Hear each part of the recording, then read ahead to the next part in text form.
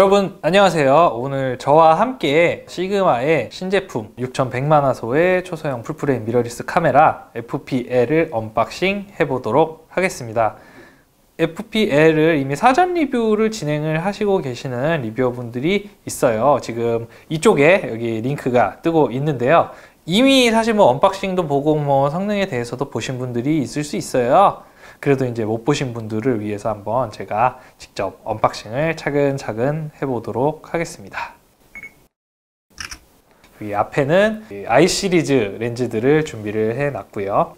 한번 박스를 열어보도록 할게요. 어, 박스를 먼저 오른쪽으로 옮겨 두겠습니다.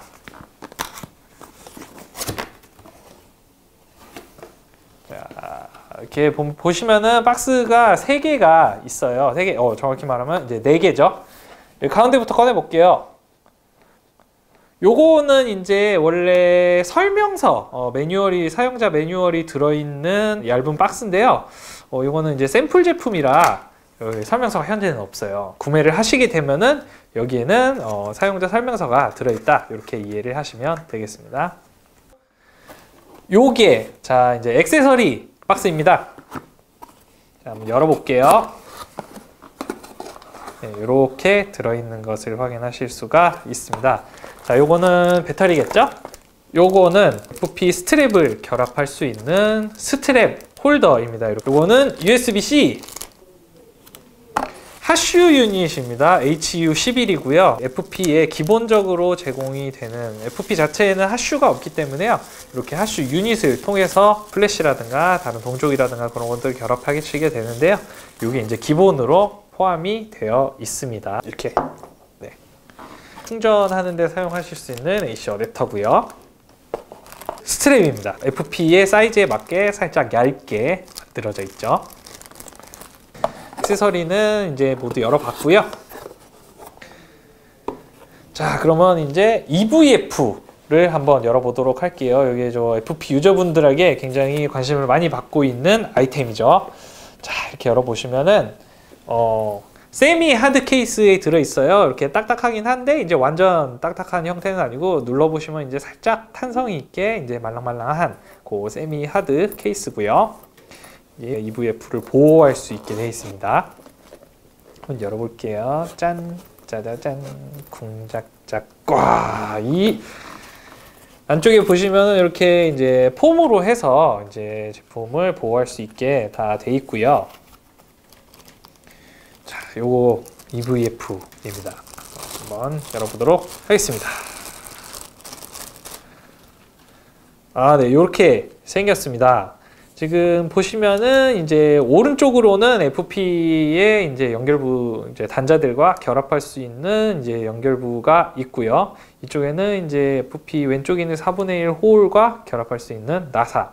그리고 결합을 했을 때 이 아이템이 이제 fp에서 이렇게 돌아가는 것을 막기 위한 이제 턱이고요. 이제 짧은 기둥 형태로 돼 있죠. 그리고 왼쪽에는 이제 SSD 저장 장치를 연결할 수 있는 이제 USB-C hole 그리고 사운드 모니터링을 할 수 있는 사운드 단자입니다. 이 fp용 EVF는 이제 tilt가 가능한 형태로 이렇게 상단에서도 이렇게 보실 수 있도록 어, 설계가 되어 있고요.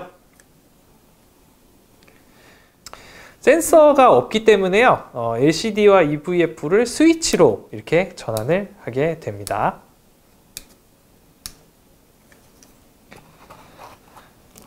요거는 어, large eyecup입니다. large eyecup. 그 눈을 댔을 때 좀 옆에서 치고 들어오는 빛들이 광원들이 많이 있을 때 요 large eyecup을 쓰시면은 굉장히 편안하게 사용을 하실 수가 있죠. 이렇게 크기 비교를 한번 해보시면은 어, 사이즈가 넉넉한 거를 보실 수 있죠. 어, 요 아이컵을 분리를 하는 방법은 아래쪽에 여기 이제 살짝 턱이 있어요. 요 턱을 턱을 살짝 이제 아래로 당기면서 턱을 살짝 밀면은 이렇게 벗겨집니다.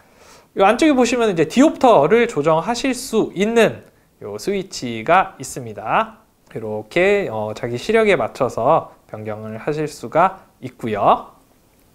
이렇게 large eye cup을 결합을 하게 되면 좀더 어, 주변의 빛을 잘 막아줄 수 있는 large eye cup을 어, 사용하실 수가 있습니다.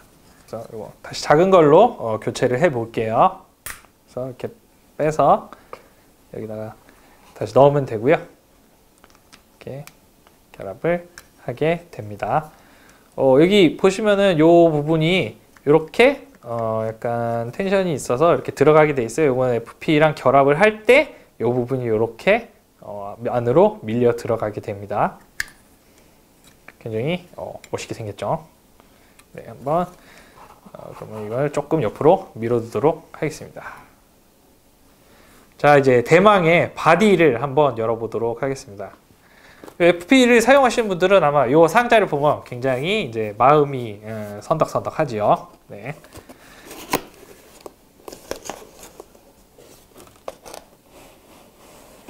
짜잔, 자, FP가 나왔습니다.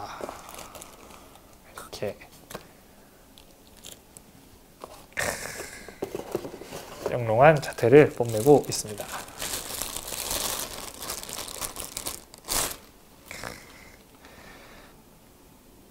전면부부터 보시면은요 이렇게 FPL L자가 음각으로 각인이 되어 있는데요. 색깔도 검은색으로 되어 있어서 보일랑 말랑 이렇게 되게 은근히 보여주는 그런 느낌으로 어, 새겨져 있습니다. 버튼에 있어서 조금 이제 기존의 FP랑 차이점이 있는데요. 어, 먼저 첫 번째로 휠을 돌릴 때 tension이 훨씬 조금 더 있어요. 휠이 좀 더 딱딱 끊어지는 느낌이 어, 강하게 나고요 모드 버튼 같은 경우에 원래는 아랫줄에 있는 버튼들과 모드 버튼은 모두 동일한 높이로 되어 있었어요. 근데 지금 이렇게 보시면은 모드 버튼이 굉장히 어, 낮게 설계가 돼 있는 것을 보실 수가 있습니다. 이쪽 면하고 거의 같은 높이로 되어 있는데요.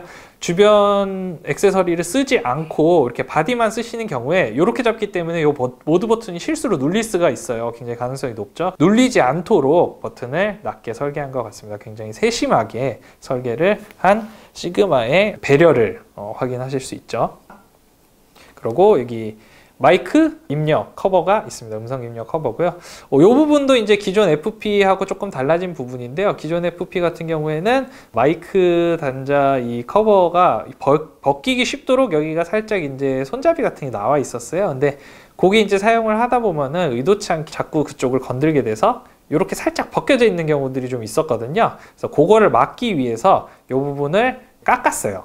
깎아가지고 이렇게 손가락으로 스치는 정도로는 뭔가가 스치는 정도로는 벗겨지지 않도록 설계를 했습니다. 이렇게 좀 신경 써서 일부러 벗기려고 해야 이렇게 벗겨지도록 음, 변경을 했습니다. 이것도 이제 시그마 다운 굉장히 세심한 배려죠. 네, 그럼 한번 여기서 어, 렌즈랑 어, EVF를 결합을 하고 전원을 켜보도록 할게요.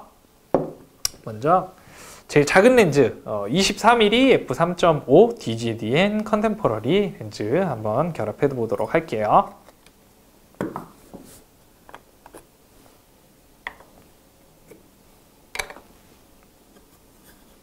이렇게 여기 빨간 점에 렌즈에 하얀 점을 맞춰서 결합을 해 주시면 되고요. 자 그럼 EVF를 한번 결합을 해 보겠습니다. EVF를 결합을 하실 때는요. 어, 이 USB-C 커버를 일단 뒤로 제끼고 HDMI 커버를 벗겨야 됩니다. 그래서 여기 각 어, USB-C 그리고 HDMI 마이크로 HDMI 포트 이 부분을 어, FP에 있는 포트들과 위치를 맞추고요. 이렇게 살짝 눌러준 다음에 여기 있는 나사, 앞쪽에 있는 나사를 돌려서 단단하게 결합을 해줍니다. 이렇게 꾹 누르면서 결합을 해주고요. 네, 그러면 이렇게 결합이 완성됐습니다. 자, 한번 전원을 켜볼까요? 네. 이게 지금은 이제 EVF로 어, 비디오 출력이 돼 있기 때문에 여기 지금 보이지는 않습니다. 여기 이렇게 불이 들어오는 게 보이시죠? 이렇게 이렇게 전환이 되게 됩니다. 네.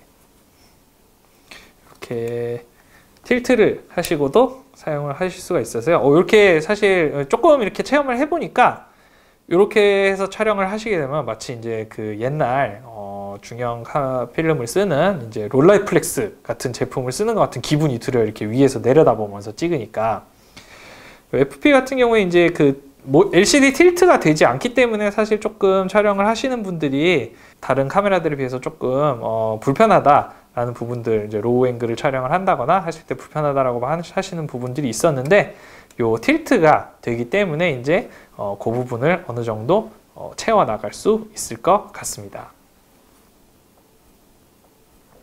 자 이렇게 어, 옆에서 보시면 이런 느낌, 앞에서 보시면 이런 느낌, 왼쪽에서 보시면 이런 느낌 어, 이렇게 보실 수가 있습니다. 초점을 맞추면 이렇게 띠릭 하는 소리와 함께 경쾌한 촬영음이 들리죠. 요 EVF 같은 경우에는요 향후에 펌웨어 업데이트를 통해서 기존의 시그마 FP에서도 지원이 돼서 이제 나중에는 FP 시리즈에서 전부 사용을 하실 수 있게 됩니다. 현재는 FPL에서만 사용이 가능하시고요. 네, 오늘 이렇게 어, 저와 함께 FPL unboxing을 해 보셨습니다.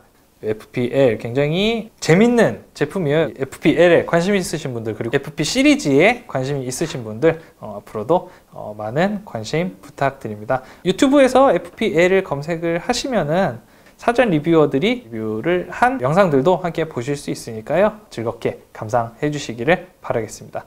자, 그럼 이상으로 어, 오늘 언박싱 마치겠습니다.